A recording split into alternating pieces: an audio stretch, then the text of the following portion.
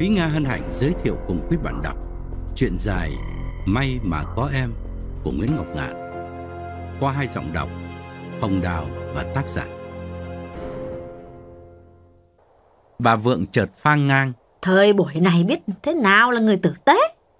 Nói cho đúng ra thì đứa nào mới quen mà chả tử tế. Lấy về rồi mới lộ cái bộ mặt ra đấy. Bởi các cụ bảo là đúng lắm mà. Thức đêm mới biết đêm dài là như vậy đấy. Ông Vượng không quan tâm đến những lời chua chát của vợ. Ông bảo Nhã, thằng Huy nó được lắm. Ngày xưa nó vẫn sang đây dạy con học. Bố còn nhớ mà. Giờ nó đi bộ đội 8-9 năm. Nói chung, nó là thành phần tốt. Bố nghe con quen nó, bố cũng mừng. Nhã nhìn bố thầm cảm ơn rồi hớn hở kể. Dạ vâng, ừ, anh ấy vừa mới gặp con lúc nãy. Ờ, anh ấy nhờ con thưa trước với bố mẹ là chủ nhật này anh ấy ờ, đưa mẹ anh ấy cùng với lại ông anh cả sang để dạ, để để ngỏ lời với bố mẹ. Ông Vượng dạng dỡ nét mặt gật gù nói: "Thế thì tốt, con bảo với nó là làm cái gì cũng nên phiến phiến cho qua thôi. Bố không có thích dườm già." Bà Vượng lại cay đắng chen vào: "Ôi giời, muốn dườm cũng chả dườm được. Mới đi bộ đội về, tiền đâu mà bày vẽ." Một lần nữa ông Vượng lại bất chấp lời vợ và bảo Chủ nhật này bà nấu cái gì mời người ta ở lại ăn cơm với mình? Nói chuyện nó tiện hơn. Bà Vượng từ nãy đến giờ ngồi nghe chồng nói Lòng bứt rất khó chịu lắm. Bà bị rằng co giữa hai quyết định. Thương con, bà muốn con có chồng Vì tuổi nhã cũng đã bắt đầu lớn rồi. Nhưng con đi lấy chồng thì bà thiệt thòi nhiều lắm Bởi nhã đang là lao động duy nhất mang tiền về Cho bà cuộc sống sung túc từ mấy năm nay. Với Huy bà cũng có thiện cảm vì ngày trước Huy dạy kèm con gái bà. Nhưng bà biết rõ Huy là thằng không có đồng bạc dính túi, nay mai sẽ bòn rút hết của con bà. Ý nghĩ ấy làm bà đau đớn lắm.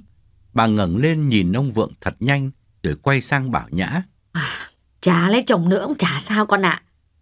Trên danh nghĩa thì con đã có chồng rồi. Mà đúng ra là mày cũng đang có chồng đấy chứ. Chẳng qua là vì hoàn cảnh phải tạm xa nhau chứ có ế ẩm cái gì đâu mà lo. Ông Vượng gạt đi bằng giọng hơi gay gắt. Bà nói thế làm sao được? Thằng chồng cũ của nó là kể như là không có còn quan hệ gì nữa. Sống chết thế nào, mình đâu có biết. Năm nay con nhã mới hăm mấy. Chả nhẽ bắt nó ở vậy đến già hay sao? Bà Vượng vội phân trần. Ờ, tôi có cản nó đâu. Nhưng mà vì dạo năm ngoái năm kia, hai ba chỗ đánh tiếng muốn hỏi nó thì nó lại bảo là nó không muốn lấy chồng. Ông Vượng giải thích thay cho con. Là vì dạo ấy nó mới bắt đầu đi buôn không muốn vướng víu. Bây giờ đã có đồng ra đồng vào rồi. Lại gặp người nó ưng ý thì mình phải động viên nó ổn định gia đình mới phải chứ lị. Bà Vượng vẫn còn ấm ức lắm nhưng không dám phát biểu nữa. Từ thuở nào đến giờ trong cái căn nhà này, ông Vượng vẫn là có cái máu nhà binh, mỗi lời nói là một mệnh lệnh. Ông nhắc lại. Chủ nhật này hai mẹ con bà nấu cái gì mời người ta ăn? Con, con nhớ hỏi thằng Huy xem họ sang đây mấy người để mà liệu nấu nướng. Nhã đáp ngay. Dạ, chỉ có ba người thôi bố ạ. Bác Lữ, anh Hòa với lại anh Huy. Ông Vượng cầm tờ báo lên và kết luận. Thôi, cứ như thế đi. Nhã hài lòng đổi đề tài. Rồi, bây giờ mẹ cần đi đâu thì con đưa mẹ đi này. Bà Vượng uể oải đứng dậy theo con bước ra hè. Bà sẽ còn đau khổ nhiều bởi từ nay tiền của con sẽ đi theo hướng khác không nộp thường xuyên cho bà nữa. Đó là điều mà ông Vượng không nhất trí với vợ. Dĩ nhiên ông thông cảm vợ ông đã sống qua cả một chuỗi năm tháng đau khổ vì nghèo. Từ khi lấy ông rồi ông vào bộ đội và trở thành thương binh. Nhưng đó là cái nghèo của cả làng cả nước vì phải dốc toàn lực phục vụ cuộc chiến. Khi hai miền thống nhất lại càng nghèo hơn vì hết viện trợ, nông nghiệp hợp tác xã thì chẳng bao giờ mức sản xuất tăng cao được bởi làm ăn tập thể thì cha chung không ai khóc, không có động cơ cá nhân để thúc đẩy người ta hết lòng với công việc. Giữa lúc vật vờ như vậy thì chồng Nhã ra đi, Nhã trở về với bố mẹ và đi buôn. Nhã gặp vận may thu nhập tăng vùn vụt, làm thay đổi hẳn cuộc sống của ông bà Phượng. Bà mong tình trạng này cứ kéo dài mãi như thế để bà được an nhàn cuối đời. Nhưng ông Vượng nghĩ đến Nhã nhiều hơn, con gái ông không thể cứ làm gái già suốt cuộc đời bên cạnh ông. Huống chi ông lại có thiện cảm với Huy, bởi Huy cũng đồng cảnh ngộ là thương binh như ông. Dù nay mai Nhã có đi ở riêng, đem hết tiền của cho chồng thì ông vẫn hài lòng vì đó là hạnh phúc của con. Sau đám cưới, Huy sang ở hẳn bên củ lao mía trong căn nhà khang trang thơ mộng của Nhã. Việc hai người lấy nhau nhanh chóng trở thành đề tài bàn tán khá sôi nổi ở Phú Hải. Dân làng mỗi người nhìn một cách, đôi khi đưa đến những tranh luận và thậm chí cãi nhau trong quán nước hay trên bến đỏ. Có ông bảo, thằng Huy đúng là chuột xa chính gạo. Chủ yếu là đào mỏ chứ yêu thương gì cái nhã. Bà khác lại mỉa mai nhã. Nạ dòng mà lại vớ lại trai tơ. Cái nhã mà nó không có của thì thằng nào mà thèm bó đến nó. Nói chung thiên hạ nhiều người độc miệng, không muốn nhìn hạnh phúc của kẻ khác, nên thích chê bai cho đỡ ngứa mắt. Làng này con gái gần 30 mà chưa có chồng là kể như ế trọng gọng. Thành ra các bà đi chợ cứ ấm ức bảo nhau. Chả cái gì bằng tiền. Cái nhã mà nó không có tiền thì suốt đời nó làm gái già chứ ai mà nấy. Còn cái cậu Huy ấy mới thật là chán ấy. Thanh niên sức dài vai rộng mà lại rút đầu vào cái con mẹ nữa thì thì chết. Thế gian lắm chuyện quá, chẳng biết thế nào mà lường. Những lời bình phẩm chua cay ấy cũng đến tai nhã, nhưng nàng bình thản lắm. Nói đúng ra nàng đã quá quen với cái văn hóa dèm pha của xóm làng, nên nàng bảo Huy cũng là tự nói với chính mình. Đường ta, ta cứ đi, xá gì thiên hạ. Có anh ở bên cạnh rồi, em chẳng còn quan tâm đến cái gì nữa. Chỉ một tuần sau, Huy chạy Honda thành thạo, chở Nhã về thăm nhà, mang theo khá nhiều quà, chủ yếu là các loại vải, tặng bà Lữ và Vân. Mẹ chồng và cô em chồng giờ này thân thiện với Nhã lắm, bởi tất cả mọi chi phí cho bữa tiệc cưới, Nhã nhận lãnh một mình, bà Lữ không phải bỏ ra đồng bạc nào. Dĩ nhiên tiệc không linh đình lắm, nhưng người ta dự kiến số khách mời tương đối giới hạn vì Huy mấy lần năn nỉ Nhã càng tổ chức đơn giản càng tốt. Ngay sau ngày bà Lữ và Hòa sang gặp ông bà Vượng ngỏ ý, rồi đôi bên đồng thuận với nhau chọn ngày kết tình thông gia, Huy gặp riêng Nhã, cầm tay tha thiết nói. Mình bây giờ sắp là vợ chồng rồi, anh chả giấu gì. Bất cứ điều gì với em. Mẹ anh nghèo, anh lại càng không có tiền. Cả làng đều biết như thế. Nếu mình làm cỗ to quá, người ta sẽ nghi là em đưa tiền cho anh. Nhã thử người ngẫm nghĩ và thấy Huy phân tích hợp lý. Nàng bảo Huy à, Thôi thế thì tùy anh Mời ai bỏ ai Em giao cho anh đấy Điều Huy yêu cầu cũng trùng hợp với ý của bà Vượng Mẹ Nhã Bà bảo Nhã Lấy chồng lần thứ hai Làm qua loa cho nó có thôi con ạ à. Bày vẽ làm gì Thằng Huy thì nó mới đi bộ đội về Đào đâu ra tiền Cứ tiệc tùng cho lớn rồi Mang nợ thì khổ đấy Sở dĩ bà nói thế là vì bà nghe nhiều người kể là mẹ Huy phải đi vay chỗ này, chạy chỗ kia để lo đám cưới cho Huy. Bà không biết đó là mưu kế của mẹ con Huy. Bà chỉ nghĩ đơn giản là cưới xong Huy sẽ mang nợ chồng chất. Mà Huy nợ tức là Nhã cũng sẽ phải chia gánh nặng với Huy. Bởi vậy bà khuyên con gái một điều rất thực tế là làm nhỏ và Nhã đã làm theo lời bà. Chỉ có những nhân vật không thể bỏ qua được, chẳng hạn như cán bộ chính quyền quen ông Vượng, từ xã lên huyện, là bắt buộc phải mời, còn bạn bè của Nhã, của Huy thì dăm ba người phù dâu phù rể cho có mà thôi. Ông Vượng bố Nhã cũng khuyên làm nhỏ, nhưng cái lý do ông nêu ra sâu xa hơn. Bởi ông quen cán bộ, lãnh đạo trên cả huyện. Ông bảo, đất nước ta đang trong thời kỳ khó khăn vì các thế lực phản động cấu kết với ngoại bang, đặc biệt là Mỹ, quyết tâm cô lập nước ta với ý đồ phá hoại sự nghiệp xây dựng chủ nghĩa xã hội của nhân dân ta. Lời ông nói y như một bài giảng chính trị, dụng ngữ lớn lao, nhưng diễn dịch một cách đơn giản thì chỉ có nghĩa là cả nước đang đói, mình không nên ăn cưới lớn, vừa lãng phí, vừa làm người ta ngứa mắt. Nhã thấy ai cũng xúi mình làm nhỏ, giảm thiểu khách mời, nàng đành siêu lòng rút bớt số tiền lại. Riêng đối với bà Lữ thì điều làm cho bà bận tâm nhất là bà lang tạo, hàng xóm bên kia bờ ao. Từ khi Huy báo tin Nhã sẽ bỏ tiền ra làm đám cưới, bà Lữ tất nhiên nghiêng hẳn cảm tình về phía Nhã. Tuy nhiên, bà vẫn thấy tội nghiệp bà Lang, nhất là Yến. Mặc dầu chưa hứa hẹn gì cả và cá nhân Huy cũng chưa hề gặp riêng Yến lần nào để nói lời yêu thương, nhưng bà Lữ vẫn thấy mặc cảm tội lỗi như mình vừa bỏ rơi Yến để chọn đứa con dâu giàu hơn. bà tự trách mình đã không hỏi, hỏi ý Huy trước khi đề cập đến Yến, làm như mình có quyền chọn vợ cho con. Vì vậy, bà phải tìm sang phân trần với bà lang tạo, dù trong lòng rất ngần ngại. Hôm ấy Yến cũng có nhà, nhưng ngồi yên trong buồng không ra tiếp khách.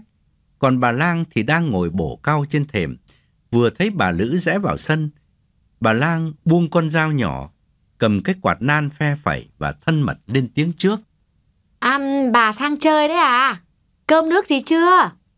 Bà lang cố gắng giữ giọng hoàn toàn bình thường, làm như chưa hề rõ mối quan hệ giữa Huy và Nhã mà gần như cả làng đều đã biết. Bà Lữ ngồi xuống bậc cửa bên cạnh bà Lang cầm một chùm cau trên cái mẹt đặt trước mặt và hỏi. À, cau nhà rồng hay là mua mà đẹp quá? Bà Lang cũng cầm lên một nhánh nhỏ và bảo. À, bà Liễu bà cho đấy.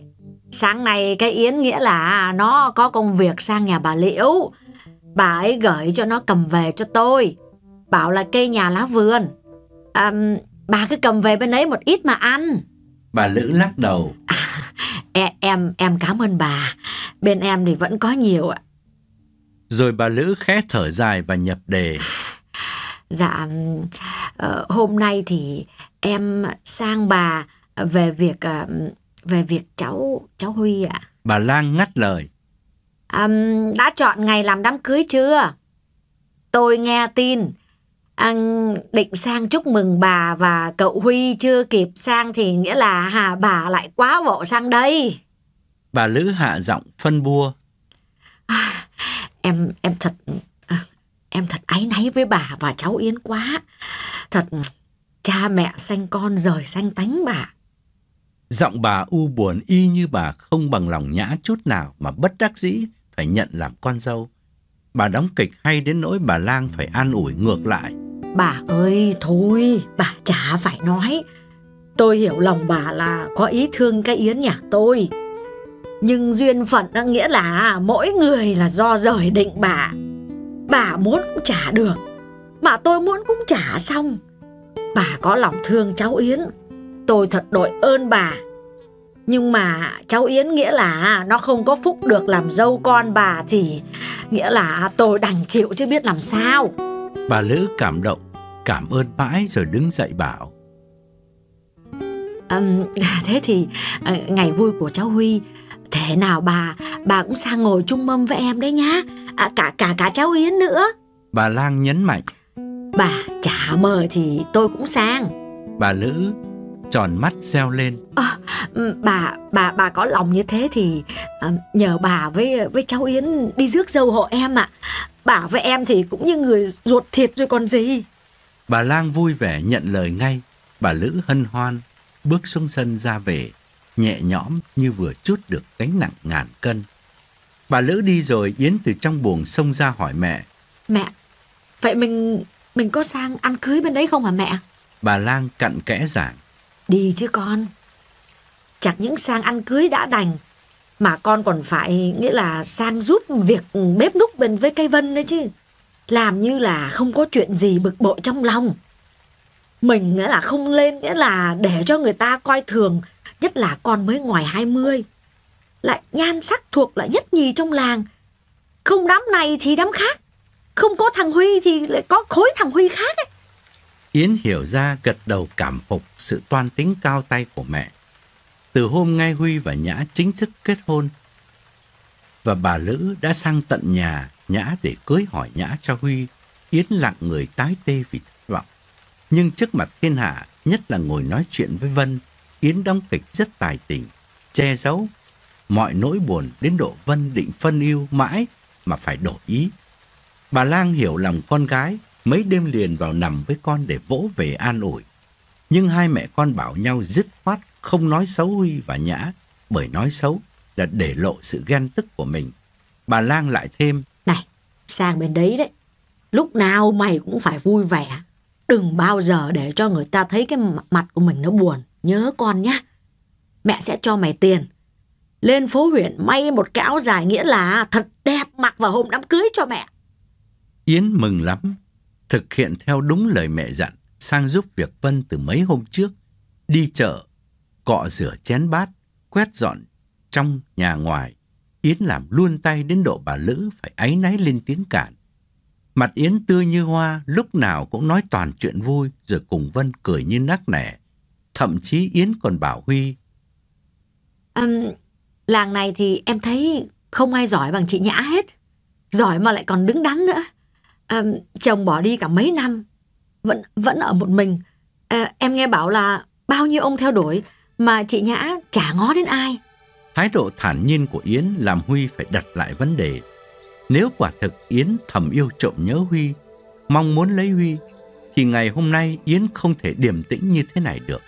Như vậy thì rõ ràng là Huy đã lầm, mà ngay cả Vân là bạn của Yến cũng lầm to. Yến phụ việc bên nhà bà Lữ ba ngày liền, mãi đến buổi chiều trước hôm đón dâu, Yến mới xin phép về nhà. Bà Lang bảo con gái lấy áo dài mới ra mặc thử cho bà coi. Bà muốn con gái mình sẽ phải nổi bật hơn cô dâu. Chả biết để làm gì, nhưng bà thấy đó là một cách trả thù kín đáo và hữu hiệu nhất. Muốn thế, bà bắt con phải đi ngủ sớm, để hôm sau cùng bà theo gia đình Huy đi rước dâu. Quả nhiên hôm ấy, ai cũng trầm trồ, khen Yến đẹp cực kỳ, làm bà Lang rất mãn nguyện. Huy là người ngạc nhiên nhất. Vừa thấy Yến cùng bà Lang từ ngoài cổng bước vào, anh tròn mắt, ghé tai Vân bảo.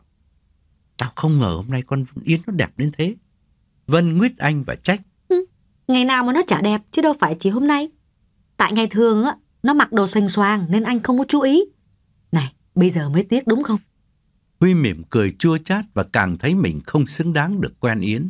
Chẳng lẽ bắt một đứa con gái toàn vẹn như thế kia, đêm đêm nằm ôm một gã thái giám như Huy hay sao? Nỗi buồn ấy làm Huy bất giác thở dài.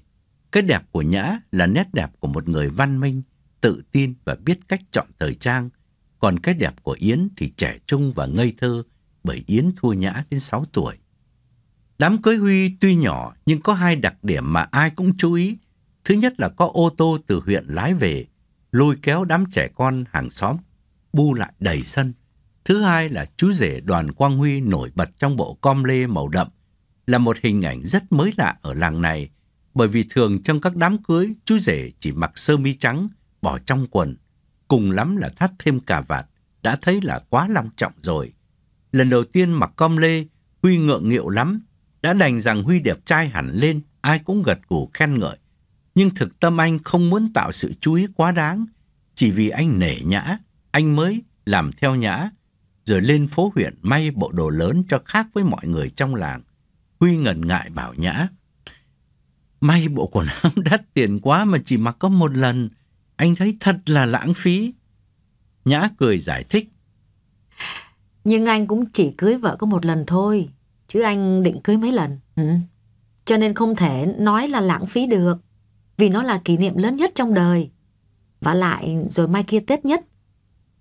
Anh mặc như thế này đi mừng tuổi chứ đâu có bỏ xó đâu mà sợ.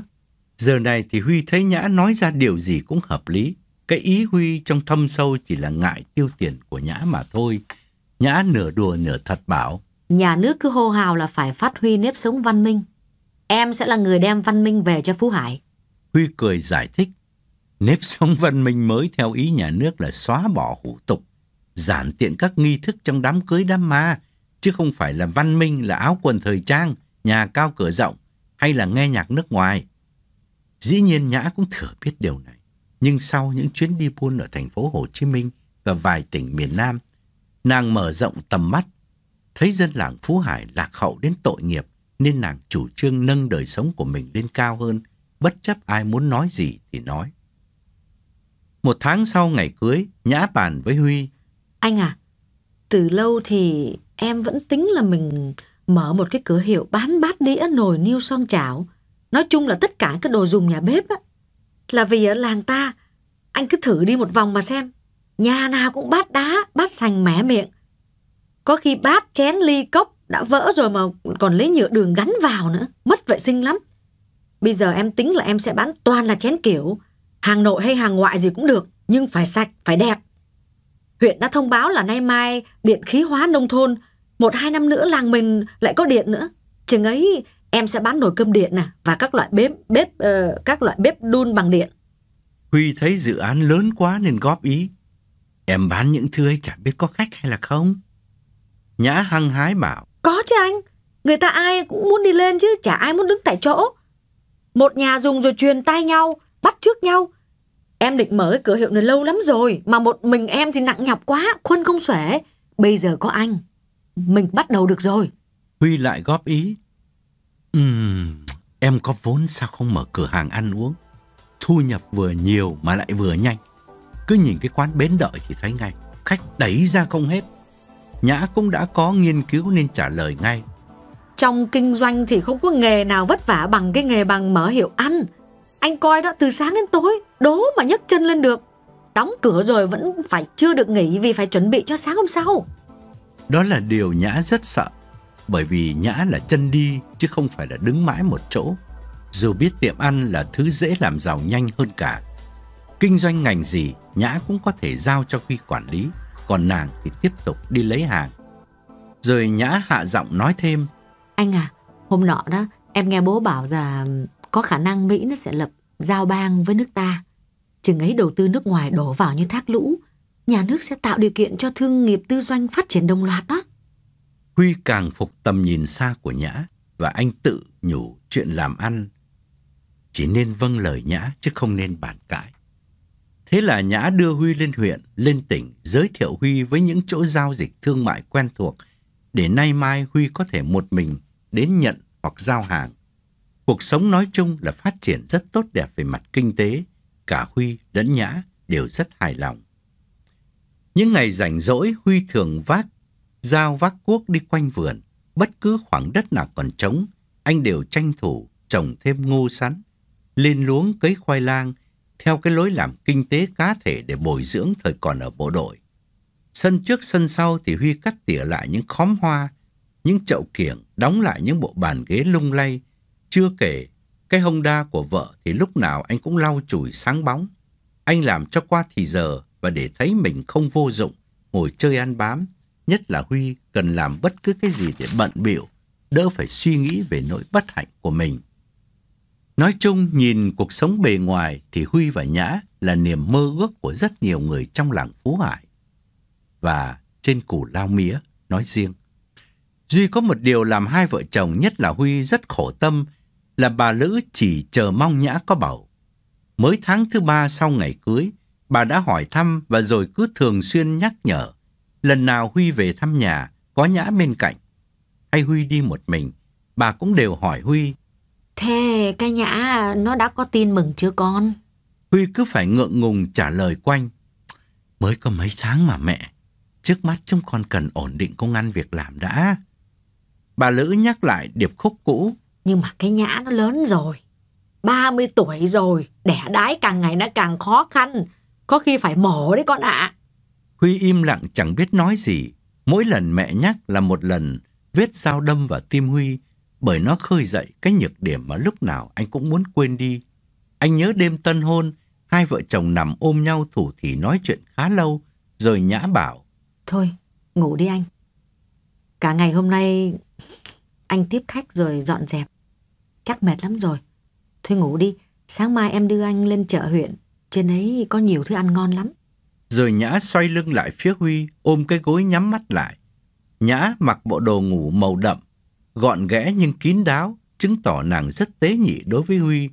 Huy nằm chăn trở rất lâu, lật qua lật lại mãi không tài nào ngủ được. Ngần này tuổi đời dĩ nhiên Huy đủ trí khôn để biết rằng người đàn bà có những khát khao xác thịt như một bản năng tự nhiên, nhất là khi đã từng có chồng. Nhã lấy Huy về, nằm bên anh, cũng như nằm bên cạnh một khúc gỗ mà thôi. Anh thở dài, rón rén ngồi dậy, nhẹ nhẹ bước ra sân hút thuốc, anh ngồi trên cái ghế mây ở đúng vị trí mà lần đầu tiên sang củ lao mía đến căn nhà này thăm nhã. Đêm nay trăng thượng tuần cũng mờ nhạt như đêm trăng thề của Huy với Nhã trong căn tròi ngoài bờ sông cách đây mấy tháng. Nhớ lại, giờ đây anh thấy một nỗi buồn ghê gớm dâng lên trong lòng, hay đúng hơn là sự hối hận vô biên đang giày vò Huy, bởi đáng lẽ anh không nên đặt Nhã vào hoàn cảnh khổ sở này. Nàng còn quá trẻ, đang ở tuổi đầy sức sống, mà từ nay bị trói buộc bởi nghĩa vợ chồng, sẽ cứ lặng lẽ sống như kẻ tu hành bên cạnh Huy. Anh thấy mình tàn nhẫn quá chỉ vì chiều ý mẹ, nghe theo lời hối thúc của mẹ, bắt lấy vợ mà anh đẩy nhã vào một vị thế quá éo le. Giải thích cách nào thì Huy cũng thấy mình độc ác. Trời chắc đã khuya lắm, gió sông tứ bể thổi lên xào xạc trong những cành bưởi dày đặc quanh nhà, đem hơi lạnh, thấm nhanh vào cơ thể Huy. Anh Toan đứng dậy, quay vào nhà lấy thêm cái áo ra mặc. Thì Nhã rón rén bước ra, đến sau lưng, đặt hai bàn tay lên vai Huy và nói Sao lại ra ngồi đây? Đã hứa với em là không được buồn mà. Sao ngay đêm tân hôn đã thao thức như thế này? Rồi Nhã kéo cái ghế lại sát bên Huy, ngồi xuống, tựa đầu sang vai Huy. Huy ngửi thấy mùi nước hoa rất nhẹ nhàng nhưng lôi cuốn từ mái tóc dày của Nhã. Anh biết Nhã bây giờ chỉ quen dùng những loại mỹ phẩm hàng ngoại rất đắt tiền và khan hiếm. Anh cũng nghiêng đầu sang, tựa sát má trên mái tóc của Nhã và ngượng ngùng bảo. Anh có buồn đâu. Anh chỉ cảm thấy là anh có lỗi với em thôi. Anh lấy được em là anh quá may mắn. Mà anh quá may mắn thì có nghĩa là em chịu thiệt thòi. Nhã xúc động cố ngăn dòng lệ. Nàng mạnh mẽ nói. Anh à, yêu nhau, sống với nhau. Ừ, có nhiều thứ thanh cao để bảo vệ tình yêu. Chứ đâu có bắt buộc phải chuyện xác thịt đâu. Em nhớ ngày xưa mình học chuyện Kiều khi Thúy Kiều tái hợp với Kim Trọng ở đoạn cuối, hai người nhất trí với nhau là đem tình cầm sắc đổi sang cầm kỳ. Nghĩa là tình vợ chồng biến thành tình bạn. Cho nên mới có những cái lúc lãng mạn khi xem hoa nở, khi chờ trăng lên. Em nói như vậy chắc là anh anh hiểu ý em rồi chứ gì. Huy cảm động ôm choàng lấy Nhã và nói Anh xin lỗi em một lần nữa. Anh hứa từ nay không buồn vì buồn tức là phụ lòng tốt của em. Nhã ngước nhìn lên bầu trời và nói. Giá như đêm nay trăng đẹp thì em rủ anh ngồi đây luôn ngoài này cho ngắm trăng. Nhưng trăng lưỡi liềm mờ quá. Thôi, để hôm khác vậy. Bây giờ mình vào ngủ anh nhé. Cùng với câu nói ấy, Nhã đứng dậy kéo cánh tay Huy lên theo. Huy vui sướng bảo. Ngày xưa đi học em giỏi văn, giờ này vẫn còn giỏi.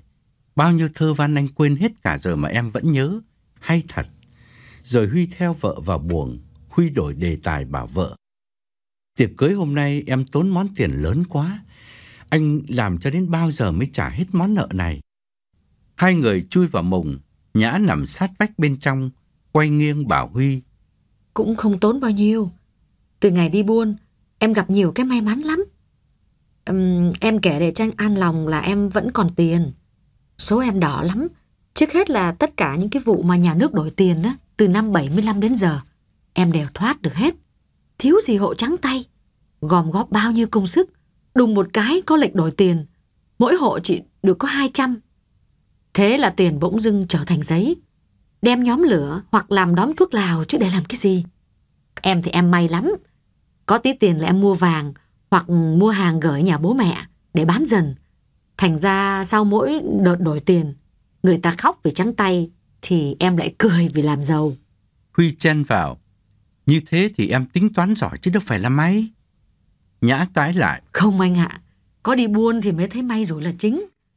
Nhất là mấy năm trước đây lúc thương nghiệp còn bị cấm gắt gao, là vì tính toán thì ai mà chả biết tính toán. Em nhớ hồi mới giải phóng miền Nam, em vào trong đấy khuân ra đây bao nhiêu là mặt hàng. Đắt nhất là các thứ máy móc ngoài này không có. Chẳng hạn như là mấy ờ, mấy cái máy hát đĩa chạy bằng điện đó. Làng mình thì làm gì có điện. Nhưng mà nhiều nhà cũng vẫn mua máy về trưng cho nó oai. Người ta bị tịch thu hàng, bị bắt giam. Còn em thì chuyến nào cũng thoát. Nhờ vậy em mới có vốn. Nhã lúc nào cũng giải thích sự thành công của mình là do may mắn. Dĩ nhiên, làm ăn ngành nghề nào mà chả cần may mắn, nhưng Nhã cố tình lờ đi một yếu tố khác quan trọng hơn là sự quen biết và móc ngoặc của ông Vượng, bố Nhã. Chẳng hạn có những chuyến hàng lớn chở bằng thuyền từ huyện về xã, cập bến Cù Lao Mía. Trên thuyền có hai đồng chí công an gần như hộ tống công khai để tránh tất cả mọi trạm kiểm soát. Làm ăn quy mô kiểu này mới sự thực giúp Nhã góp vốn rất nhanh, chỉ cần vài chuyến là giàu to. Huy để thấy, trong khi nói chuyện dài dòng, Nhã vẫn cố ý giảng giải cho Huy biết cách đi buôn để nay mai anh sẽ cùng Nhã tiếp tục làm giàu. Nhã kết luận. Nhưng mà đi buôn thì không có cái gì nhẹ nhàng mà lãi bằng thuốc Tây. Nhiều người bán thuốc giả, Nhưng em dứt khoát chỉ bán thuốc thật, vì cần giữ uy tín để làm ăn lâu dài. Thuốc Tây là mặt hàng khan hiếm lắm ở nước ta. Bác sĩ với y tá làm bệnh viện còn phải ăn cắp đem ra bán kia mà. Quý nhất là các loại trụ sinh, cụ thể là ampicillin.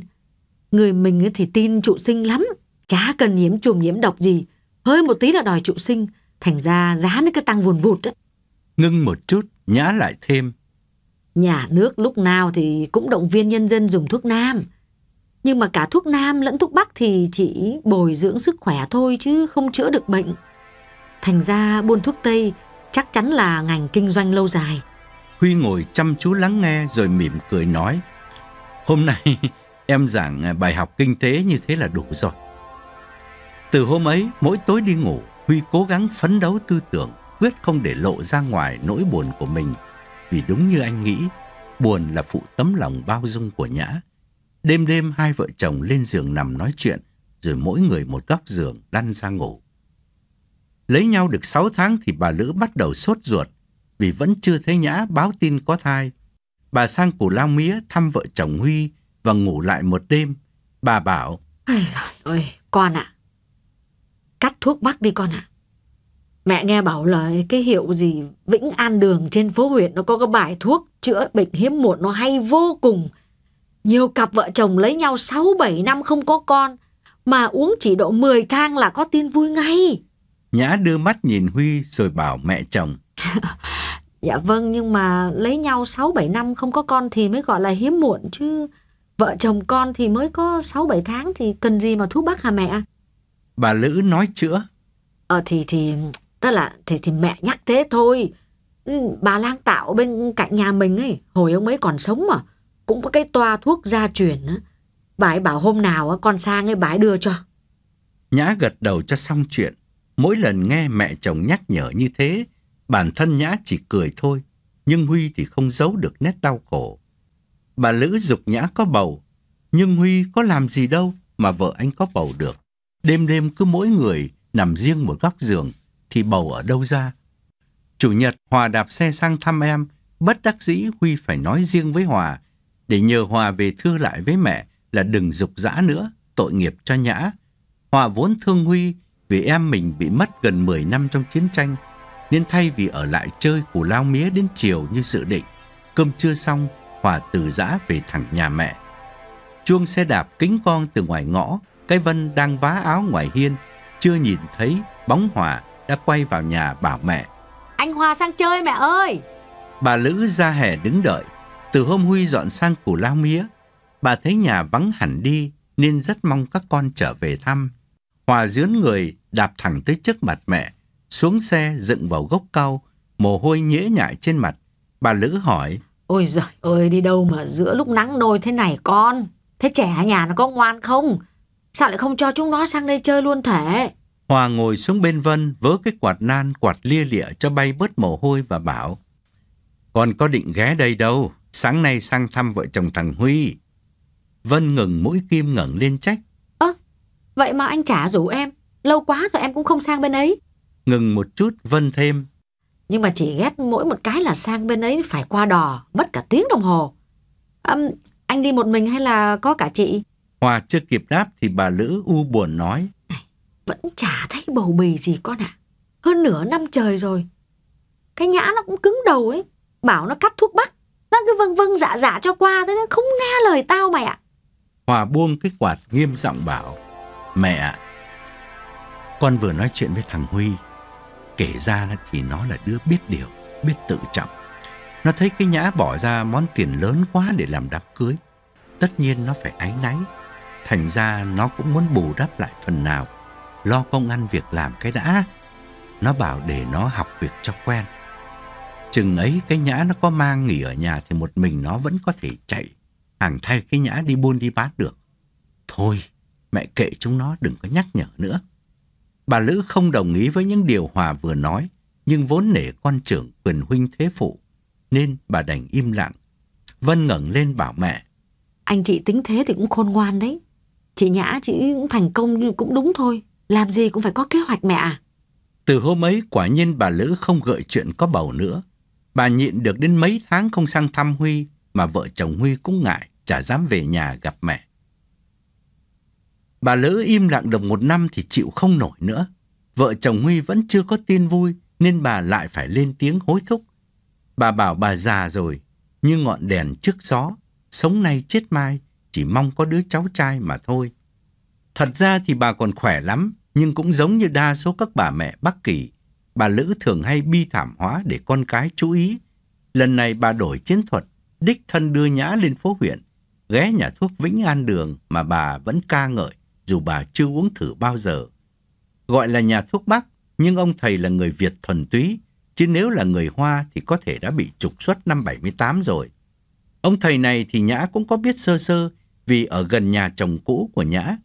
Gặp lại Nhã, ông nhận ra ngay nhưng ngại không dám hỏi vì Nhã đi với mẹ chồng mới, nhất là ông cũng chẳng muốn nhận Nhã là người quen vì sợ nàng kỳ kèo trả giá. Ông nắm cổ tay Nhã, đặt lên cái gối nhỏ lim dim bắt mạch rồi bảo Mạch tốt, nhưng khí huyết không thông. Bà Lữ ngồi bên cạnh chẳng hiểu mấy chữ đó có nghĩa là gì, nhưng cũng nghiêm trọng gật gù tỏ vẻ đồng ý. Ông hỏi Nhã mấy câu thủ tục. Kinh nguyệt bà có đều không? Ờ, thưa thầy đều ạ. Thế mỗi lần có kinh bà có bị đau bụng không? Thưa có. Bà đau nhiều hay đau ít, đau quặn hay là là chỉ hơi hơi đau thôi? Thưa hơi đau thôi ạ. Ông hỏi cho có thôi, chứ nhã đau bụng hay không đau bụng, đau nhẹ hay đau quặn, thì các vị thuốc ông cho vẫn không có gì thay đổi. Chẳng những thế, ông còn giảm bớt vài vị bởi thuốc bắc lúc này khan hiếm. Bởi con đường từ Trung Quốc đưa sang gặp trở ngại từ ngày xảy ra chiến cuộc.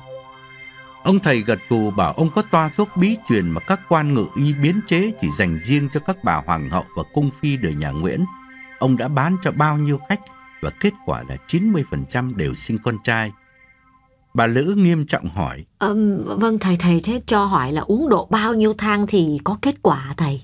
Thầy đáp, cứ thử 10 đăng trước đi đã. Nếu mà không thấy gì thì thì lên đây tôi xem mạch lại. Toa thuốc tuy đắt vì là thuốc của hoàng gia thuở trước, nhưng bà Lữ hân hoan trả tiền ngay, không bận tâm mặc cả. Nhã mang đống thuốc về quăng ở xó bếp, nàng bảo Huy. Nấu làm gì cho tốn củi? Tích cực hơn nữa, bà Lữ lại rủ Nhã lên chùa cầu tự.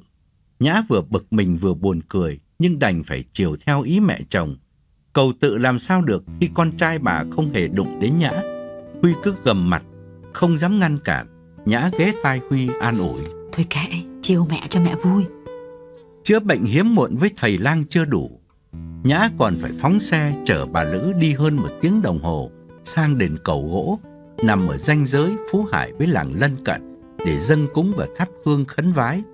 Thầy Kim Thạch, chủ đền cầu gỗ, cho cả lá bùa để nhã đeo ở cặp quần, hy vọng sớm có thai. Huy nghe, cứ tức anh ách trong bụng. Đúng ra là vừa tức lại vừa xấu hổ vì chính mẹ Huy cứ khơi mãi cái nhược điểm của con. Riêng Nhã thì hôm ấy cố nhịn cười cầm lá bùa của ông thầy đền cầu gỗ. Bùa là một mảnh giấy trắng đục, trên đó thầy vẽ nguệch ngoạc mấy chữ lăng quăng như những con run rồi thầy gấp nhỏ lại, nhét vào một cái túi vải kích thước bằng cái hộp diêm. Nhã làm mặt nghiêm hỏi. Thế bùa của thầy nghe nói linh lắm phải không thầy? Thầy Kim Thạch tuổi ngoài 40, nổi tiếng máu dê, chuyên bịp bợm để dụ dỗ các bà nhẹ dạ. Cho nên lắm bà lên đây cầu tự, rồi đẻ ra toàn con của thầy mà thôi. Thầy không phải là tu sĩ Phật giáo, mà đền cầu gỗ cũng không phải là một ngôi chùa. Thầy để tóc dài, mặc quần áo ta giống như bộ pyjama màu cháo lòng. Thầy chuyên về bùa ngải là thứ mà đúng hay sai, công hiệu hay vô hiệu không thể kiểm chứng được. Bất cứ thời nào, xã hội nào, nghề này cũng vẫn sống. Thầy tưởng Nhã cũng thuộc loại mê tín dễ dụ nên thầy đưa Nhã vào buồng. Bắt bà Lữ ngồi đợi ngoài hiên. Thầy hao háu nhìn Nhã, mừng thầm trong bụng vì ít khi gặp được người vừa đẹp vừa văn minh như Nhã. Huống chi kinh nghiệm cho thầy biết, phụ nữ càng giàu mà hiếm muộn thì càng dễ cho thầy gạ gẫm vì họ nóng ruột muốn có con. Nghe câu hỏi của Nhã, thầy trang trọng đáp. Bùa thánh cho, không linh sao được. Cô cứ đeo đi. Ba tháng mà không có kết quả thì trở lại đây. Tôi sẽ tính cho. Đúng ra thì Nhã cũng định cầm đại lá bùa về cho xong chuyện để chiều ý mẹ chồng. Nhưng vì thầy Kim Thạch cứ nằng nặc bắt Nhã phải vén áo lên để chính tay thầy dùng kim băng cài lá bùa vào phía bên trong cạp quần của Nhã, cho nên nàng bực mình, ngang nhiên nhìn thầy bằng ánh mắt thách thức và bảo. Này, thầy khoan đã. Thầy khoan cài cái bùa này vào đã. Thầy bảo 3 tháng thì có kết quả. Nghĩa là 3 tháng nữa tôi sẽ có thai. Tôi cho thầy 6 tháng nha. Nếu mà tôi đeo lá bùa này mà 6 tháng mà tôi chưa có chữa thì thầy mất gì với tôi nè. Thầy Kim Thạch trợn mắt hỏi lại. Ơ, hay nhỉ? Cô lại dám đánh cuộc cả với Thánh à? Nhã bình thản đáp. Thánh mà linh thiêng á, thì đáng gọi là thánh. Chứ thánh mà vô dụng thì còn thua cả người thường. Thầy Kim Thạch vẫn nói cứng. Cô đừng có nói lời phạm thượng. Thánh vật cho thì đến, đến, đến, tôi cứu cũng không được. Nhã nghênh mặt nói. Tôi sợ thầy vật, chứ tôi không có sợ thánh vật đâu. Thầy Kim Thạch tái mặt vì bất ngờ gặp một thân chủ ngang ngạnh. Thầy chưa kịp trả lời thì Nhã lại hỏi. Tôi nghe đồn nó dạo trước thầy bị công an bắt về tội lừa gạt.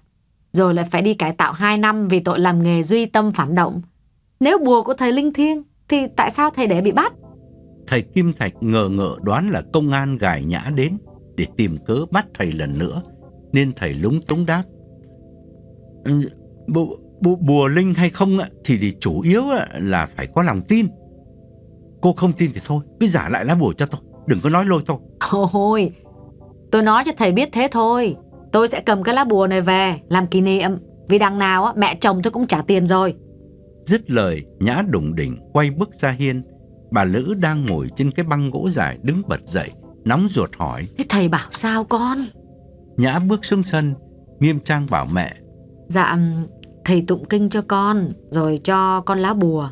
Bảo con đeo 3 tháng thì nó có kết quả ngay.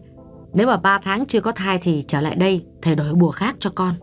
Vừa nói, Nhã vừa lấy chìa khóa mở hông đa leo lên. Bà Lữ cũng lúng túng trèo lên phía sau ôm chặt lấy lưng Nhã. Xe lăn bánh rồi. Bà Nhã bảo. Cái đèn cầu gỗ này nó có tiếng là linh, ai cầu cũng được, miễn là phải có lòng thành. Thôi thì thầy dạy thế, còn cứ làm theo như thế. Rời không phụ người ngay đâu con nhá. Trên thềm thầy Kim Thạch đứng nhìn theo Nhã, vừa tiếc vừa sợ. Đã lâu lắm thầy mới gặp một phụ nữ đẹp như Nhã, nhưng cũng đã lâu lắm thầy mới đụng phải một phụ nữ cứng rắn như thế này. Trốn linh thiêng nghi ngút khói hương mà chả sợ hãi chút nào.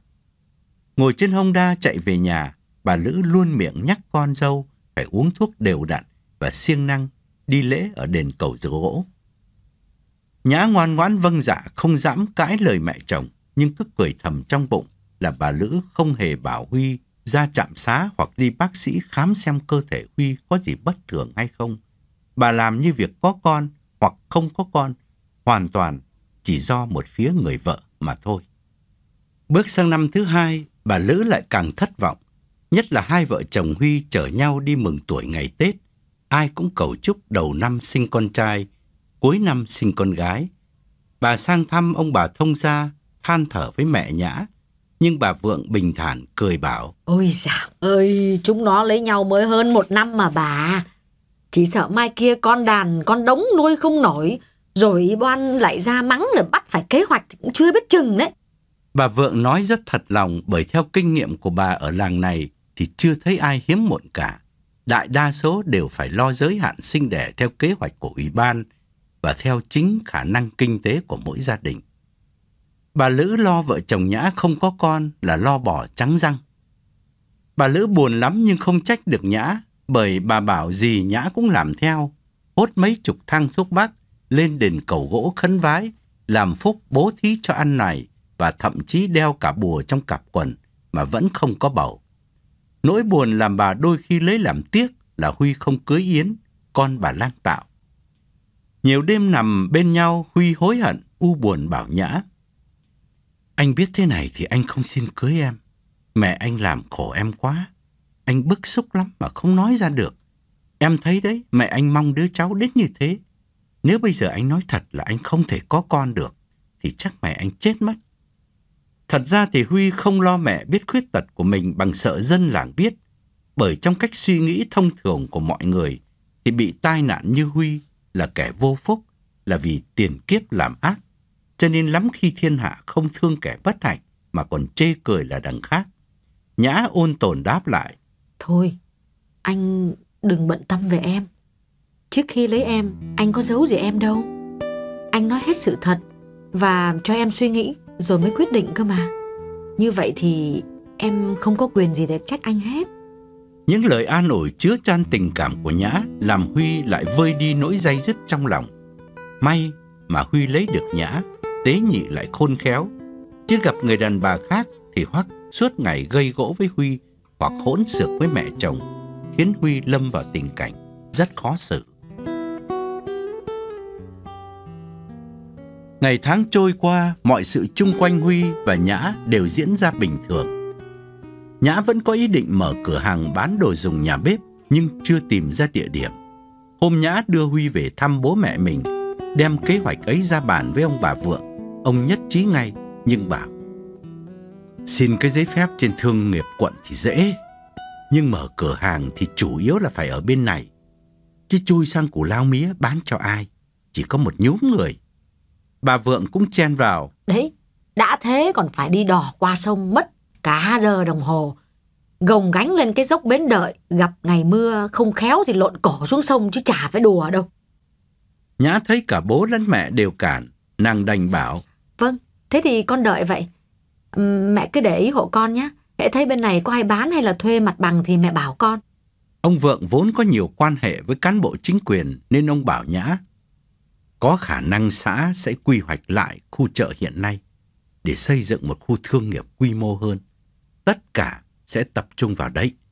Khi nào khởi động thì bố sẽ cho con biết. Chợt bà Vượng nhìn Nhã rồi thêm. Ừ, thì con mở cửa hàng là cũng chí phải đấy. Nay mai rồi bụng mang giả chữa, ngồi một chỗ chứ, chả lẽ cứ phóng xe vù vù như bây giờ hay sao? Ngót ngát 30 rồi đấy, liệu mà tính đi, chậm quá thì đẻ nó khó lắm đấy nhá. Nhã đưa mắt nhìn Huy đang đứng hút thuốc ngoài sân. Nàng không ngờ mẹ ruột và mẹ chồng cũng đều một ý nghĩ giống như nhau. Âu cũng là kinh nghiệm chung của các bà mẹ bởi thời trước người ta sinh con sớm lắm, nữ thập tam nam thập lục, 15, 16 đã đẻ rồi. Nghe mẹ nhắc, Nhã chỉ cúi đầu không nói gì. Tiệm chơ mở được, tạm thời Nhã vẫn trở lại con đường làm ăn cũ là đi chạy hàng. Nàng bảo Huy mình nghỉ lâu thì mình sẽ mất mối anh ạ. Vì dạo sau này nhiều người bung ra làm ăn chứ đâu có phải một mình em đâu. Nàng đưa Huy theo mấy chuyến lên huyện lên tỉnh hoặc sang những xã lân cận, đỡ đần khuôn vác, giảm hẳn gánh nặng cho nàng. Nhưng nàng sớm nhận ra một sự thật là đi buôn một mình, việc giao dịch dễ dàng và thuận lợi gấp bội. Có chồng bên cạnh tự dưng những đối tác làm ăn hoặc thấy rẻ rặt hoặc không dám tỏ ra thân thiện với Nhã nữa hoặc chính nhã vì có Huy bên cạnh cũng không dám giỡn đùa với bạn hàng như trước, nghĩa là tự mình làm mất đi cái thế của một phụ nữ đẹp và niềm nở. Huy cũng cảm nhận được điều tế nhị ấy, cho nên chính anh lên tiếng trước, ngỏ ý muốn ở nhà để mình Nhã lên đường như cũ. Nhã bảo, ừ, có anh đi thì em cũng đỡ vất vả, nhưng mà nếu anh ngại thì em giao cho anh kho hàng ở nhà. Giá này, em ghi sẵn vào trong cuốn sổ này rồi. Người ta đến lấy được giá thì anh cứ bán hộ em nha. Huy hài lòng gật đầu. Mấy tháng vừa qua đi bên vợ, anh ngại ngùng lắm. Bởi anh cứ có mặc cảm mình là diện ăn theo. Bạn hàng giao dịch làm ăn thường chỉ nói chuyện với Nhã.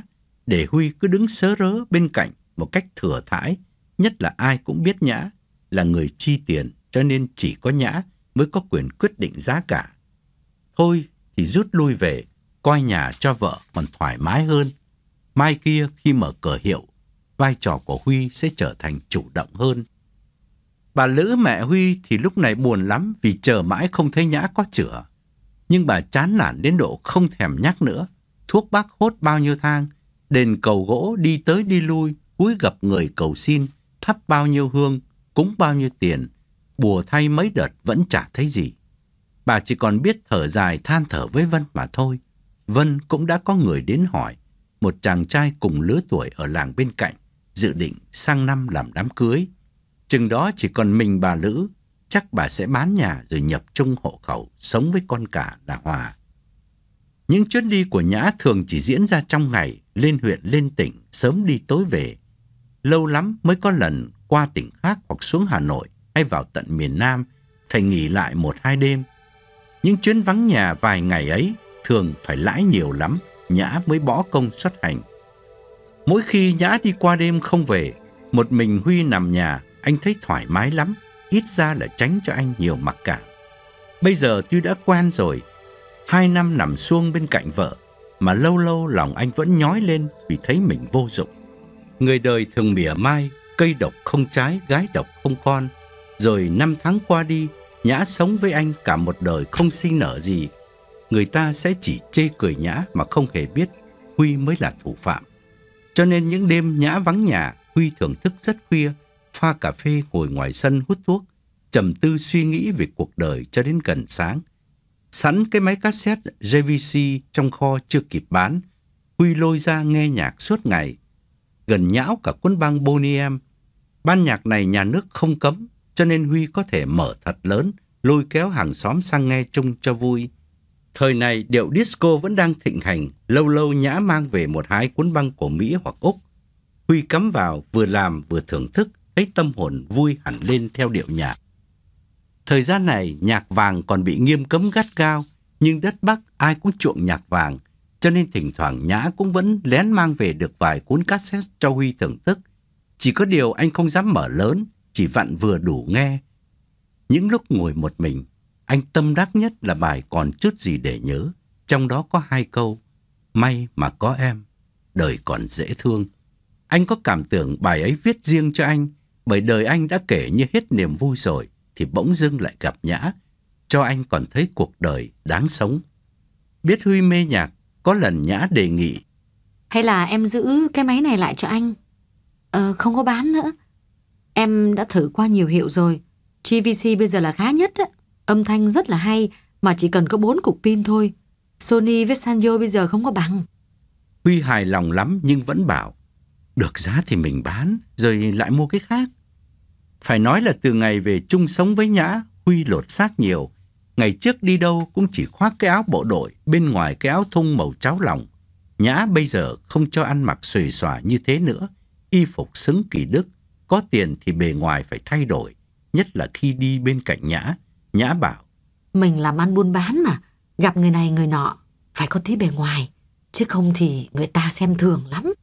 Nhã nói gì Huy cũng nghe theo, dù trong lòng đồng ý hay không đồng ý. Anh đã cố gắng lắm, nhưng vẫn không xóa được cái mặc cảm nhờ vợ, lúc nào cũng âm ỉ trong lòng. Ở đời, ai chả thích ăn ngon mặc đẹp.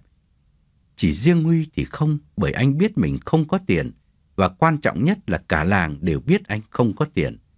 Sự khác biệt quá lộ liễu giữa thời độc thân và sau khi lập gia đình làm anh xấu hổ vì dựa vào người đàn bà Thành ra cứ mỗi lần đi đâu bên vợ phải ăn mặc trải chuốt, anh cứ cúi gầm mặt xuống vì ngại nhìn thiên hạ.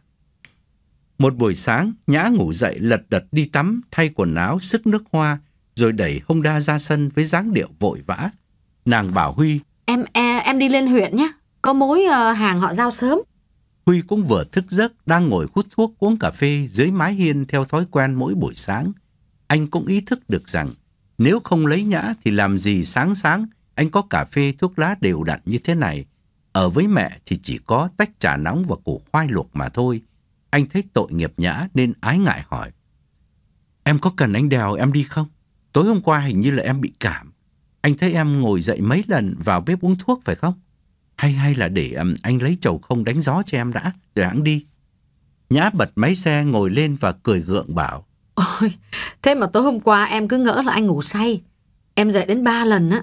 Nhưng mà sáng nay thì thì khỏe rồi, không không sao hết.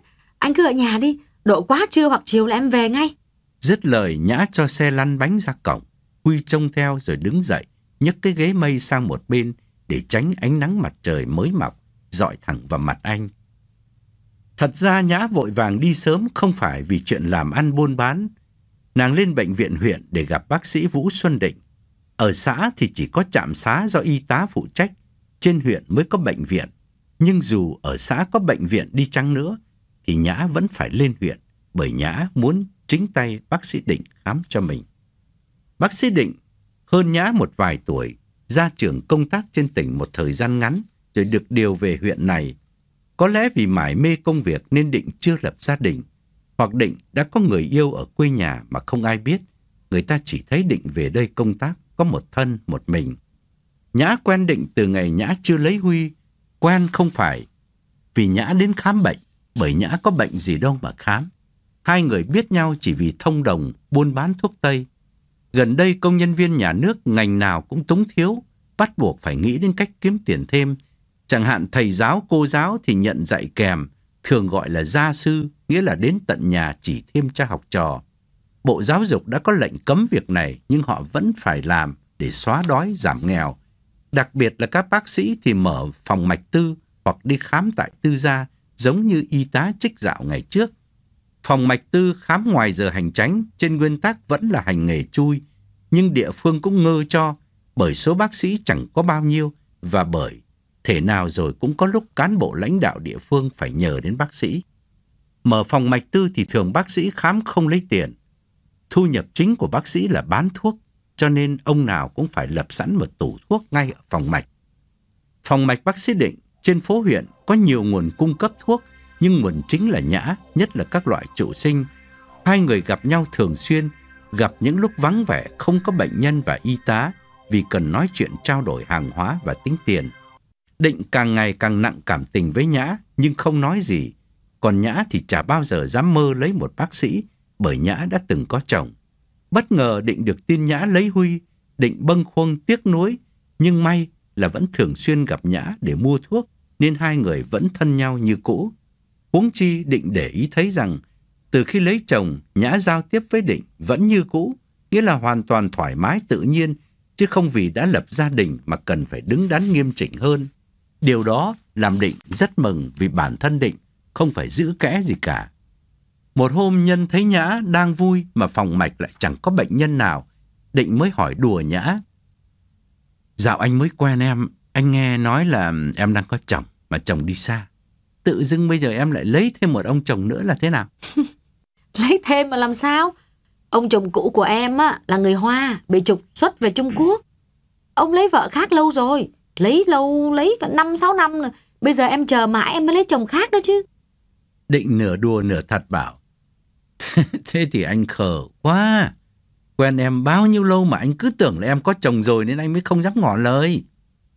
Nhã lườm định mỉm cười nhưng không nói gì. Định lại bạo dạn thêm. Anh nói thật mà, mỗi lần gặp em, rồi em đi rồi đấy, thì anh cứ hay gọi em là nụ tầm xuân. Rồi định đọc luôn mấy câu ca dao. Nụ tầm xuân nở xa xanh biếc. Em lấy chồng, anh tiếc lắm thay. Ba đồng một mớ trầu canh, sao anh không hỏi những ngày còn không?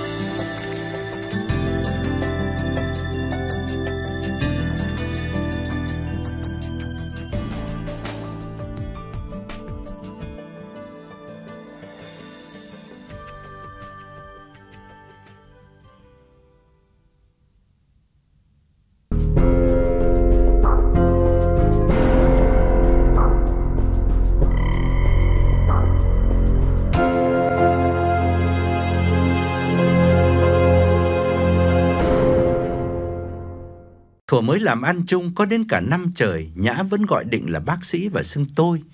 Lối xưng hô ấy Định thấy xa cách quá nên đề nghị Nhã gọi bằng anh và Định kêu Nhã bằng em cho đúng số tuổi của Nhã so với Định. Xưng hô kiểu này càng làm Định cảm thấy hai người gần gũi hơn.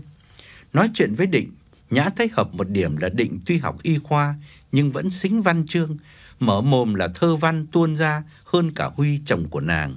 Dĩ nhiên Nhã biết Định chỉ nói đùa cho vui, chứ nếu Định có ý tiến đến với Nhã, thì làm gì Định không tìm hiểu về tình trạng gia cảnh của Nhã. Bây giờ biết Nhã đã lấy Huy rồi, thì Định mới mạnh miệng chọc ghẹo bởi chẳng mất gì. Đàn ông thiếu gì người như vậy, cứ tán bừa đi, được thì tốt, không được cũng không sao. Tuy biết vậy, nhưng Nhã vẫn thấy nao nao, rung động và càng ngày mối thiện cảm với Định càng tăng thêm. Thường thì Nhã hay gặp Định vào ngày Chủ nhật, còn nếu là ngày thường thì sau giờ hành tránh khi định từ bệnh viện về phòng mạch tư. Phòng mạch định không đông khách lắm, bởi dân huyện lẻ vẫn có thói quen tin mấy ông y tá trích dạo còn hơn cả bác sĩ. Cùng một chứng bệnh, y tá cho uống liều mạnh hơn bác sĩ nhiều nên dễ khỏi hơn là bác sĩ chữa theo sách vở và lương tâm. Bất đắc dĩ họ mới phải đến gặp định vì định bán thuốc cũng đắt hơn y tá. Khúc rẽ quan trọng trong quan hệ của hai người mới xảy ra cách đây hơn 3 tháng. Hôm ấy Nhã đến phòng mạch của Định thì chỉ có ba người chờ ngoài cửa. Định không thuê thư ký bởi thu nhập chưa có bao nhiêu, mà Định lại hay mua thuốc ngoài luồng nên không muốn có mặt người thứ ba. Định mở cửa cho bệnh nhân vào. Nửa tiếng sau, người khách cối vừa ra về, thì Nhã từ bên kia đường vòng xe qua. Vừa thấy nàng định mừng rỡ tháo ống nghe, bỏ trên mặt bàn và nói như reo vì bất ngờ không hẹn trước. Hôm nay có thuốc gì mới mà em lên đột xuất thế? Nhã đứng bên cạnh Định, đứng tựa mông vào cạnh bàn viết của Định và ung sung bảo. Chả có thuốc gì hết, em ghé thăm anh thôi. Định xoay người, ngước lên nhìn Nhã, chố mắt hỏi. Em từ dưới Phú Hải lên đây thăm anh. Nhã đặt sâu chìa khóa xuống bàn và nói. Không, em đi giao hàng trên này, nhân tiện tạt vào thăm anh. Nhưng mà em hỏi anh là giả như mà em từ dưới Phú Hải lên đây chỉ để thăm anh, không buôn bán gì cả, thì không được hay sao? Mà anh có vẻ hốt hoảng thế. Định vội chữa ngượng. Được chứ, được quá đi chứ. Nhưng mà anh nói thật, anh ngạc nhiên là vì anh chả bao giờ dám tưởng tượng ra cái chuyện hoang đường như thế. Em từ dưới Phú Hải mà phóng xe lên đây thăm anh. Anh đâu có cái diễm phúc ấy. Nhã nhìn Định bằng ánh mắt hết sức tình tứ và bảo. Thế thì hôm nay em cho anh cái diễm phúc ấy đấy. Em từ dưới Phú Hải lên đây, chỉ để gặp anh thôi. Câu nói của Nhã như một lời mời gọi. Định nhòi người đưa tay khép hẳn cửa phòng mạch rồi ôm chầm lấy Nhã.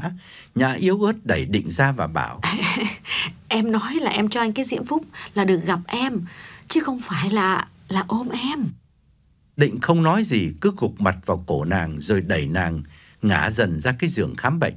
Việc này thì Định đã quen lắm rồi. Bao nhiêu cô y tá và đôi khi cả bệnh nhân, Định cũng vẫn đề ra như vậy, kể cả thời gian còn đi thực tập chưa ra trường.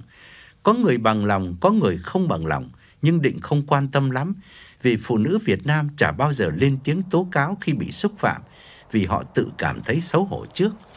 Dĩ nhiên Nhã không hề biết Định hay lợi dụng phụ nữ, nàng cứ tưởng bác sĩ phải là người đứng đắn và chỉ riêng nàng có sức hấp dẫn đến độ Định không cưỡng lại được. Vì tin như thế nên Nhã để yên cho Định kéo quần Nhã xuống, chỉ để nguyên kéo thun phía trên. Định vói tay kéo tấm màn ngăn đôi giường khám bệnh và chỗ khách ngồi đợi, rồi anh cúi xuống, bế Nhã đặt lên giường. Anh tụt giày và cuống quýt leo lên, nằm đè trên người Nhã, rồi từ từ trườn xuống úp mặt vào ngực nàng. Nhã cảm thấy đê mê ngây ngất vì đã bao nhiêu năm không gần đàn ông, kể từ khi người chồng thứ nhất ra đi, và người chồng thứ hai là Huy, đêm đêm nằm như khúc cây bên cạnh nàng. Nhiều đêm nằm quay lưng lại phía Huy, Nhã vô cùng hối hận đã nhận lời lấy Huy khi biết trước Huy không còn khả năng sinh lý. Đã thế, Nhã lại luôn luôn muốn tỏ ra tế nhị, bao dung, nên tuy là vợ chồng mà cứ phải lựa lời tránh tất cả những lời bóng gió xa gần có thể làm Huy buồn. Nàng cắn răng chịu đựng nỗi cô đơn một mình cho đến hôm nay thì không chống lại được sự lôi cuốn của định. Hai người ôm nhau đắm đuối mãi cho đến khi thấy thấp thoáng có bóng người đi lại ngoài cửa. Nhã mới ngồi lên mặc quần áo vào. Định cũng kéo quần lên, khoác áo blue trắng và máng ống nghe lên cổ. Rồi mới kéo tấm màn ngăn giường bệnh nhân và phòng đợi để Nhã bước ra. Anh vuốt lại mái tóc, đưa mắt nhìn Nhã rồi mở cửa phòng mạch. Một người đàn bà trẻ thập thò hỏi. Um, dạ, dạ, em muốn gặp bác sĩ được không ạ? Định nở nụ cười hiền hòa đáp. À, vâng, mời mời chị vào. Rồi định quay lại bảo Nhã. Bà về cứ uống đúng liều thuốc tôi vừa cho. Cần thì ờ, chiều mai mời bà lại đến gặp tôi. Nhã hiểu ý gật đầu đáp. Vâng, cảm ơn bác sĩ. Chiều mai em ghé lại nhé.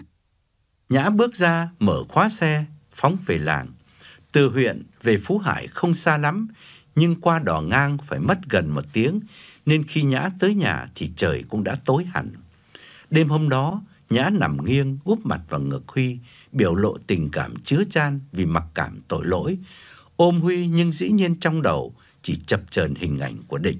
Vì quả thực chiều nay khi quằn quại bên Định, phải nói là Nhã ngây ngất cực kỳ bởi lấy người chồng đầu tiên chỉ được hơn một năm, rồi từ đó không chung đụng với người đàn ông nào khác. Lửa tình bùng lên mãnh liệt dường như để bù đắp lại một thời gian cô đơn quá dài. Bây giờ nằm bên Huy, Nhã thấy mình tội lỗi quá, nhưng Nhã cũng thấy trước rằng mình chưa thể nào cắt đứt với Định được. Quả nhiên hôm sau và mấy ngày liên tiếp, Nhã đều có mặt ở phòng mạch của Định. Chuyện ái ân trở thành niềm đam mê của cả hai người, nhất là nó diễn ra ở phòng mạch chật chội, lúc nào cũng nơm nớp lo có người bắt gặp. Nhã sung sướng lắm, nàng liều lĩnh và táo bạo hơn cả Định. Thậm chí có hôm nàng đòi ngủ lại, nhưng Định suy tính mãi rồi đành phải chia tay. Vì Định ở nhà tập thể, tuy được cấp phát căn hộ riêng nhưng ra vào chung đụng, ai cũng sẽ nhìn thấy Nhã. Còn ngủ ngay tại phòng mạch thì không thể được vì chả có buồng tắm cầu tiêu, chỉ có mỗi cái bồn rửa tay của bác sĩ. Nói chung là không đủ tiêu chuẩn cơ bản cho một người phụ nữ ngủ qua đêm.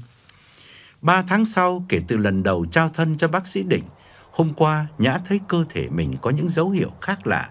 Nàng thèm ăn những thứ khác thường và hay buồn nôn. Nàng ngờ ngợ đoán là mình có thai và vì vậy sáng nay nàng dậy sớm hối hả đi gặp Định trên bệnh viện. Vừa thấy Nhã Định ngạc nhiên lắm vì bình thường Nhã chỉ gặp Định ở phòng mạch tư. Đây là lần đầu tiên nàng vào nhà thương để xin Định khám bệnh. Định chưa kịp nói gì thì Nhã bảo nhỏ. Em không thể chờ được. Cả đêm hôm qua không ngủ được thế nào. Định cầm hồ sơ của Nhã do cô y tá vừa đưa vào và hỏi. Em chờ lâu chưa? Sao không bảo thư ký nó dẫn em vào trước? Lần sau cứ nói là người nhà của anh. Nhã im lặng không nói gì, tự động ngồi lên giường cho Định khám. Xong mọi thủ tục, Định đỡ Nhã ngồi dậy và nghiêm mặt bảo. Em có thai rồi. Nhã ngồi phịch xuống ghế, lặng người, cúi đầu nhìn xuống chân. Định hạ giọng nói nhỏ hơn. Có thai thì chắc chắn là có rồi. Chỉ không biết là con anh hay là con của chồng em. Nhã buột miệng đáp. Con anh. Định giật mình hỏi lại. Sao em biết? Nhã nhấn mạnh. Em là đàn bà, em phải biết chứ. Định gắt nhẹ. Làm sao em biết được khi đứa con chưa ra đời? Chưa thử máu, mấy tháng này em không ngủ với chồng em hay sao? Nhã cũng gắt theo. Em chỉ biết chắc là đứa con trong bụng em là của anh. Em khẳng định như thế, không phải nói gì nữa. Em có đòi hỏi tiền bạc gì đâu mà mà anh làm gì anh hãi thế. Thấy mặt Định có vẻ lo lắng, Nhã chấn an. Con em thì em nuôi, dứt khoát không làm phiền đến anh đâu. Em chỉ cần nó lớn lên, nó thông minh, nó học giỏi như anh là em mãn nguyện rồi. Còn việc nuôi nó là tự em lo. Định lắc đầu bảo, em hiểu lầm anh rồi. Nếu biết chắc là con anh thì anh cũng phải có trách nhiệm chứ. Nhã gật đầu nhắc lại. Chắc lép gì nữa, con anh đấy. Em đã xác minh như thế thì từ nay anh đừng bao giờ nhắc lại nữa. Anh không muốn nhận thì thôi, cũng chả sao. Rồi nàng đứng dậy, thản nhiên nói.